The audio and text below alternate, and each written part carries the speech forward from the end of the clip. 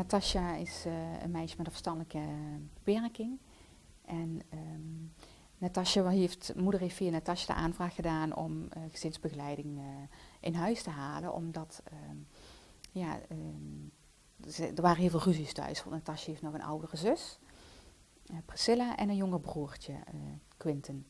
De, samenspeling zeg maar, van de drie kinderen bij elkaar, dat is af en toe echt gecompliceerd ja, ze waren elkaar een beetje uit en dagen.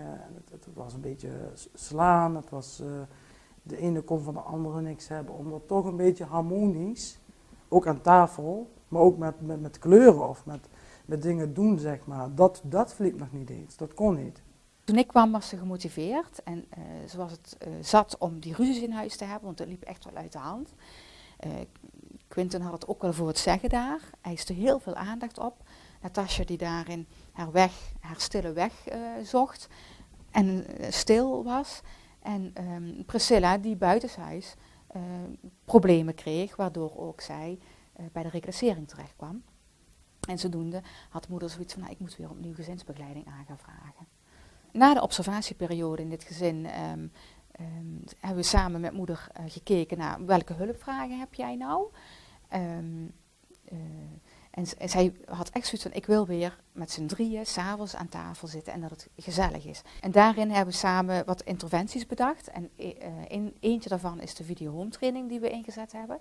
Video home training gaat uit van een situatie, wordt opgenomen middels videobeelden en wordt terugbesproken. En het gaat uit van een positieve interactie. Dus waarom lukt dit moment, lukt dat jou? Om moeder zo in de kracht te zetten en om te kijken waardoor het komt dat die situatie wel lukt. Wat, wat de stiften? Dat is wel moeilijk de oplopen. Dat is heel En dat is jammer, die zijn bijna allemaal Op een gegeven moment, als we echt aan het werk gaan, dan kiest moeder een moment uit waarin ze uh, ziet van, nou, dit, dit loopt goed, dit moment. Bijvoorbeeld een moment van thuiskomst uh, van de kinderen hebben we toen opgenomen. Dat moment dat liep goed en daar hebben we een week later teruggekeken. Uh, ik heb het eerst met moeder alleen teruggekeken om te zien uh, welke vaardigheden, pedagogische vaardigheden zij toepast. En dat ze kan zien aan de beelden uh, waardoor dat komt.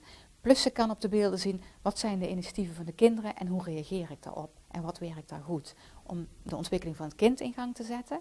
En om het terug te kijken zetten we de ontwikkeling van de ouder ook in gang. Ik zag bepaalde dingen niet. Dus ik deed bepaalde dingen waardoor iets toch wel getriggerd werd. Dus, uh, dus dan hadden we een bepaald ding opgenomen.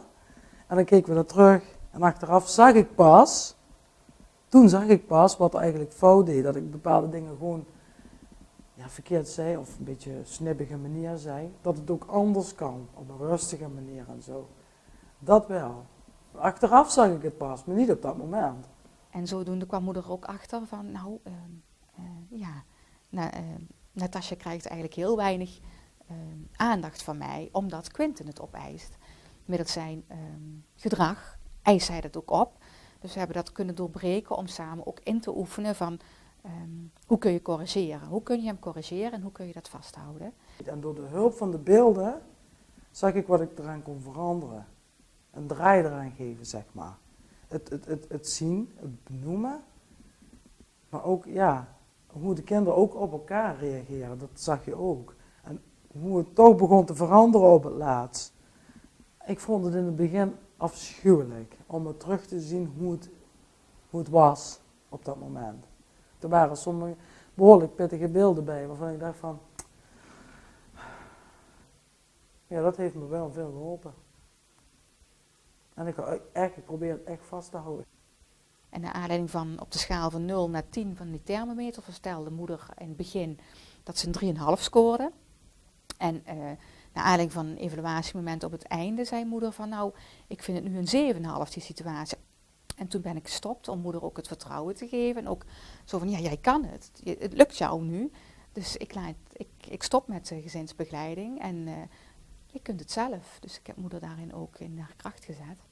En ik denk dat het heel goed is. En uh, zodoende is moeder toen ook zelf op eigen kracht verder gegaan het, het gaat beter. We hebben ook zo nog steeds onze strubbelingen hoor. Maar we kunnen lachen met elkaar en de dingen die we doen. Of met elkaar of tegen elkaar. Maar dat is ook met de oudste zo. Het tolereert meer. Ja, ja, die dingen die kunnen nu. Konden vroeger niet hoor. Echt niet.